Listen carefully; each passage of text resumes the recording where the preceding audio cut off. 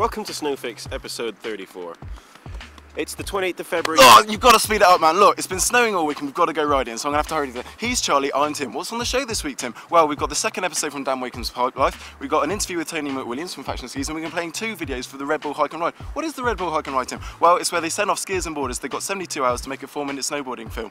We're going to play the UK one first because we've got a very own Johno Verity, his teammate Adam Gendle, and a little cameo from the Jules. So just roll the video, okay? Getting a bit overexcited.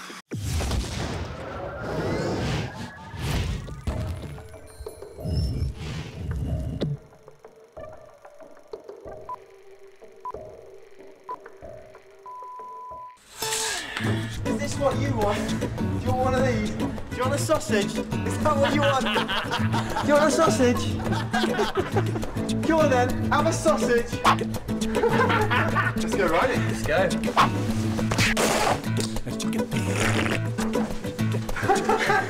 that dog's a loser.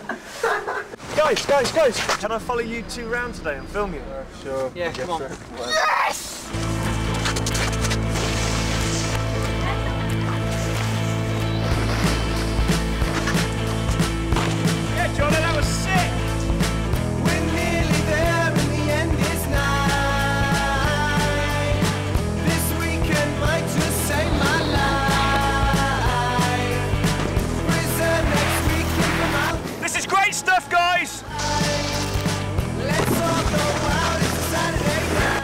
sick clip we can go and hit. Now your eyes are rolling in your head. You can't feel it. Okay, dropping in! Whoa! You alright? Oh, what have I done?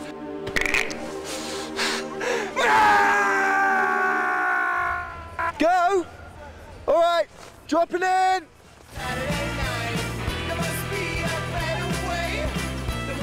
Right, Ken. Alright, he's dead! Oh, so you didn't get my shot? You're shot. Johno, I've killed a man! All right. J- right, calm down. All we've got to do is work out a way of getting this body down the mountain without anyone seeing it.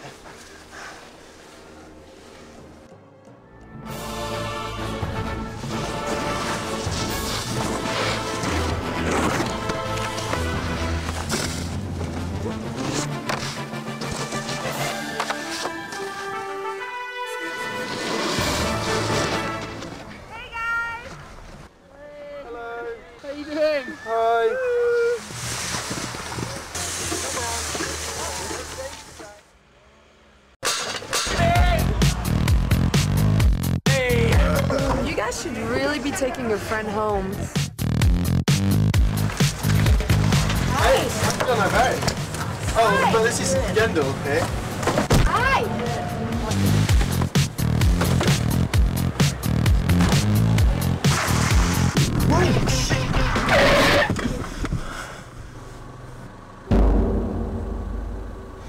Go, go, go!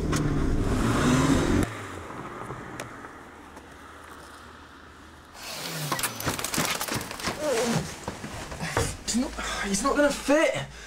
What are we gonna do? Okay, I'll do him. Give me the axe. All I can find.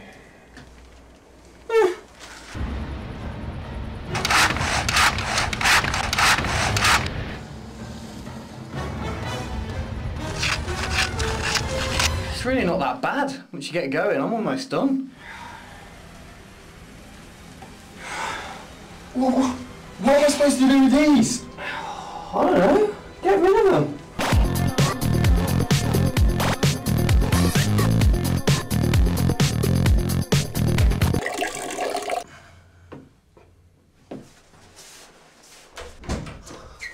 I think we're sweet. Sweet. What about that bit? I'll do it later. It's the policeman. I think he's coming up. Quick, head!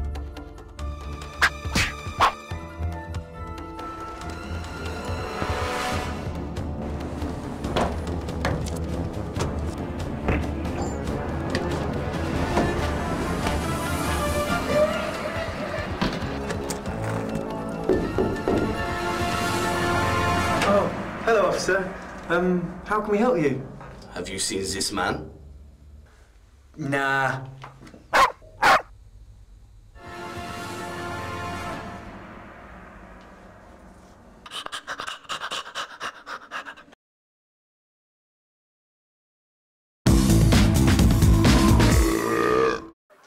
So I'm joined here at the Verbier ride with Tony McWilliam, who's the founder of Faction Skis. Can you tell us, for those people that don't know, a bit about the brand and how you got it started?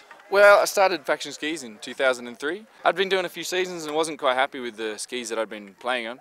And uh, I've got a background as a production designer and an uh, industrial designer.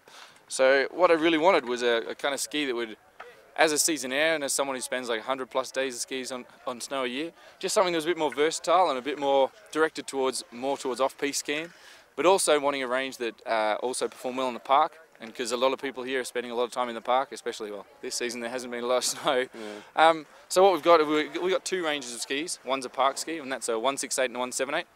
Uh, and that's about a 90 mil waist, which is quite versatile for the park and also wide enough for off-piste. Yeah. And then uh, we've got the fat ones, which are a 183 and a 191. And they're 112 mil waist, so quite a bit more substantial. A lot better float off-piste. And they're sustainable yeah. materials, aren't they? Which is pretty important. Eh? Yeah, well, what we tried, I mean, that's a, a hugely important thing for us at the moment, is, uh, you know, using wood from uh, well-maintained regrowth forests. I mean, it's pretty hard with a thing like a ski. I mean, you're basically dealing with a lot of fiberglass sealants, um, epoxy resins and things like that. But uh, the factory that we got maintain everything really well and recycle all the materials that they can as much as possible. So, I mean, there's not a whole heap you can do like a ski, but we're trying to make something of a change. So, yeah, hopefully convince other people to do the same. And so it seems like a pretty much a dream career sort of thing. Like, how does it yeah. compare to other season jobs that you've done? like, well, still getting yes. time on the mountain? I do, I do. This season actually haven't got a lot of time because I've just been working flat out on the skis. You know, getting into stores, um, doing demo days, things like that. Um, yeah, not as much skiing as I used to, but no. still, you know, a good 70, 80 days a season. and like, how much like are you doing the design? Are you doing the marketing? Like I everything? do. I do all the marketing and the design, the physical design of the ski and also the graphic design. And I have a business partner who runs all the financial aspects of things. Okay. And yeah, lets me know how much money I can spend. That's cool. We just heard that you had to go to repress for the States because they've been We did, there. we did. We sold out of the first load of stock for the for the US, so we've managed to fit another batch in. So they've just gone on sale on the where? website, www.factionskis.com. That's wicked, man. Awesome. what's the future plans for Faction? Like you, any plans to extend the range or just? We do. We'll, at the moment, we're gonna look at next year for making a shorter, fat ski just purely directed towards girls because that's a huge section of the market that was just kind of coming open and there are a lot of girls out there who really are starting to ski really well so we really want to get into that. Um, and also we're getting in a lot more stores this year which is great but still predominantly we're trying to sell direct to people through the website um, because it lets us deal directly with the customers, which we really want that personal relationship with them because you know I speak to everyone who buys our skis and it's great, and that's really what it's about for me. Cool. Well, I'm looking forward to trying some out. So cheers, man. Thanks for speaking to us. No, Have thank a good you. Season. You too. Okay. Okay, so it's been a bit of a slow news week this week, but uh, we've searched high and low and found a couple of stories. Uh, I've had to take Tim up here because he was being a bit too hyperactive. He's very excited about the snow, um, but let's get things going anyway. Um, the British snowboard team have just come back from Japan, and they have they've done pretty well actually, haven't they, Tim? Um, the uh, Zoe Gillings, who's been on the show before, is the border cross champion, and she's now the 11th ranked in the world. And Dan Wakeham, you'll see later on in the show, um, is our pipe rider, and he is now ranked number 16 in the world. And that is that's the highest um, a British rider's ever been. That's for the pipe. So well done, Dan. Keep going. Um, it's quite nice this. It's nice and quiet, a bit relaxed. Um, might as well just continue. Eh? you want to do it? Ah,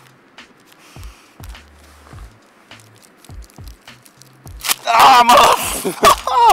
oh, there's a bit of hair there. Oh. nice. Yeah, so the American Skiing Company has just confirmed that it's going to sell four of its eastern US resorts. Um, that's Killington and Pico went for $83.5 million and um, Mount Snow and Attitash went for $73.5 million. And do you know what? I figured out if every single one of our viewers um, chucked in $1,300, we could have bought those second tier resorts. So, yeah. So guys, you know, if you fancy sending us $1,300, the, the, usual address, that, that'll yeah. be fine. You could send probably send it as a check to Charles Davison. I mean, just wow. probably the easiest way. Well, well maybe, maybe um, so should we do another bit of hike and ride? Yes, so this is the winning film from the Swiss team. Um, the winners were uh, Jean, Jean-Yves Michellod and Laurie Falquet. I've probably definitely got that wrong, but well done. Good. but um, yeah, their film was a bit different. It wasn't as funny, but um, it was really well filmed and edited. I yeah, thought. they Um, got the feel of what they wanted. I think. yeah, definitely got a good feel, and there's quite a lot of um, cool ski bob. The when when you're sitting down skiing, Yeah, like for yeah. um, when you're paralysed. And actually, that guy who on the ski bob, he Yeah. is like a former Verbier Extreme Freeride champion, and it was only actually a year ago that he got paralysed. And so the fact that he's come back and he's made such an awesome film, you know, Yeah. it's fucking inspiring in my Yeah, opinion. and it's good riding as well for a year. That's really good. It's wicked. Um, yeah, so here it is. I can ride.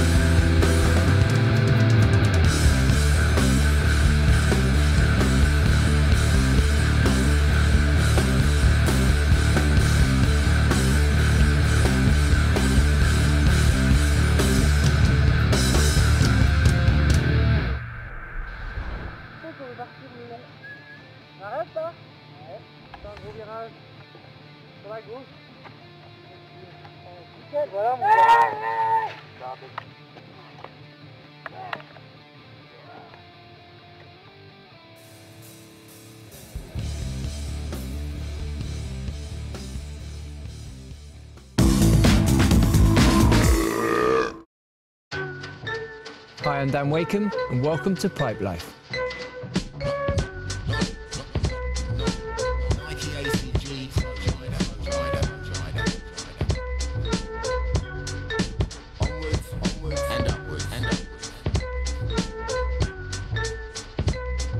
All right, this is Dan Wakeham in the pipe right now. Top British rider in today's contest. To be the UK's number one half-pipe rider, Dan has to continually work on three key areas of progression. When Dan drops into the pipe, speed is his friend. The more speed he has, the more air he can get, giving him more time for rotation variations and grabs. Dan gets his speed by landing as close to the lip as he can and using the strength in his lower body to pump through the transitions of the landing and takeoff walls, eking out everything the pipe has to offer. When we're at competitions, the judges judge us on amplitude, which is height out of the pipe. They also judge us on like rotations and technical difficulty, so that's how much you spin and how hard the trick is actually to do. When we're training, we go through our runs. Our coach, he films everything, so we do like video analysis. When we go home, we can sit and watch the uh, footage back. You can learn quite a lot by watching yourself ride. When I'm training, if I'm not falling, it means I'm not trying hard enough. You're a nutter. Got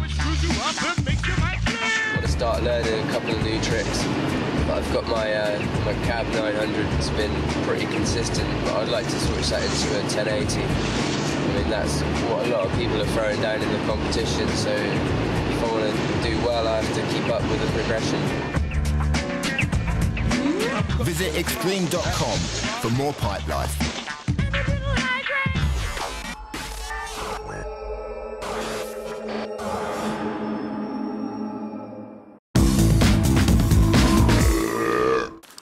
Okay, so going on to a few of your viewer emails. The first is from Patrick Dares, who is from Toulouse in France. And it's a cool email. He actually sent us um, something about something his sister's boyfriend is setting up. Okay. A company that ma- makes massive stickers, right? And the deal is they make them shaped to fit for snowboards. Oh, right. So you can cover your entire snowboard in basically whatever design Oh, you what, you want. can print whatever you want on the sticker. I well, I guess they must be able to print whatever. Sick. Um, and if they could, I guess maybe, just an idea off the top of my head, make like a Snowfix one. That would be nice. I d- we I could, don't we could give them a plug. E-adhesive dot e hyphen adhesive.com. Yeah. It's like trading, basically. Yeah, so we've kind of done our part in a way. So no, that would be that would be cool. But yeah, check out the website eadhesive.com. Wicked. Um, Jason Brown, he's the winner of the competition this week. He sent his, his more injury stuff, but this one's particularly cool. He sent in the x-ray and you can see all the pins and that sort of thing. We've had a few of those, but the unique bit, he sent in a picture of the outside of the skin and it's actually got the pins like sticking out of the skin. It is That is rank. gnarly. and also, to top it all off, he sent a picture of his cast and he's uh, drawn Brian, the Really well. Very, very well very well. indeed. And so, there you go, you win the book. Well done, Mateykins. Yeah, excellent. So um, send in your comp- your photos. We're getting some really good X-rays. Uh, snowfix at negativegravity.co.uk and visit the website snow, uh, which is extreme.com slash snowfix and there you can leave comments check out all the other episodes and subscribe so I'm, I'm gonna go riding You're gonna go riding? yeah Mate, mate, that's not fair. yeah No, you gotta untie me. You gotta untie. Oh, fuck That's.